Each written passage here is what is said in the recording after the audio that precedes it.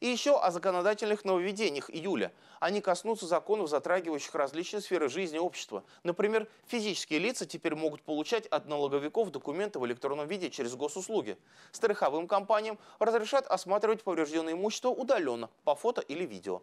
А также вводится акциз на сладкие газированные напитки. Подробнее об этом и не только расскажет наш корреспондент. Особый интерес в обществе вызвала тема введения акциза на сладкие напитки и газировку. Отныне напитки, которые изготовлены на основе питьевой или минеральной воды с добавлением сахара, содержащие от 5 граммов углеводов на 100 миллилитров напитка и не превышающие объема долю этилового спирта больше, чем на 1,2%, попадают под акциз. А производители и импортеры газировки будут обязаны платить по 7 рублей за каждый литр продукции. Мы решили узнать, как на это нововведение отреагировали тверичане. Как вы считаете, это правильное нововведение или нет? Ну, конечно же, нет. Почему?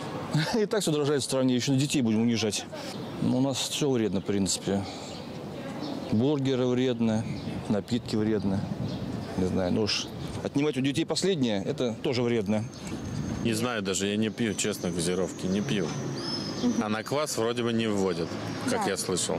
Ну пусть наш напиток вот русский останется без акциза. Остальное нас вообще не интересует. Я не употребляю газированные напитки, поэтому новый закон никак меня не коснется и моей жизни. Все зависит от того, какую продукцию употребляет каждый конкретный человек. Они должны стоить так же, как стоят сейчас.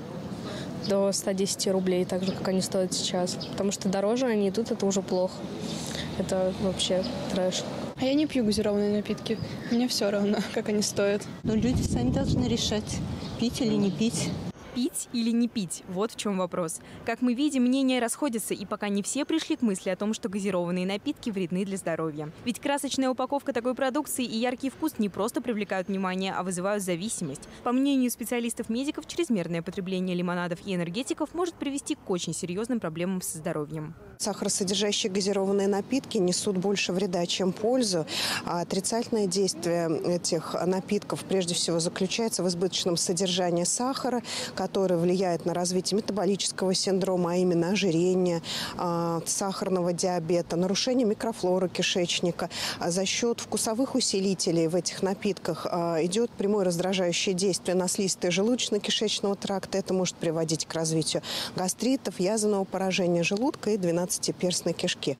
И все-таки любители разнообразных напитков не останутся без вкусной питьевой продукции по стандартным ценам. Ведь под акциз не попадают традиционные русские напитки, такие как квас, кисель, морс, соки и нектары, а также молочная продукция. Депутат Тверской городской думы Дмитрий Нечаев также считает, что этот набор напитков куда полезнее, чем газировки. Прежде чем употреблять газированную воду, я, как, наверное, многие другие люди, которые ну, хоть чуть-чуть задумываются о своем здоровье и о последствиях употребления тех или иных напитков, мы начинаем читать состав. Я пытаюсь понять, а, что здесь вообще является пищевым продуктом. Я уже не, говоря, уже не говоря о том, что полезно для здоровья. Люди должны знать действительно о том, что содержится в этих напитках, какую они несут угрозу для здоровья, а многие диетологи неспроста бьют тревогу. И после этого а, осведомлен, значит, вооружен, уже самостоятельно делать вывод.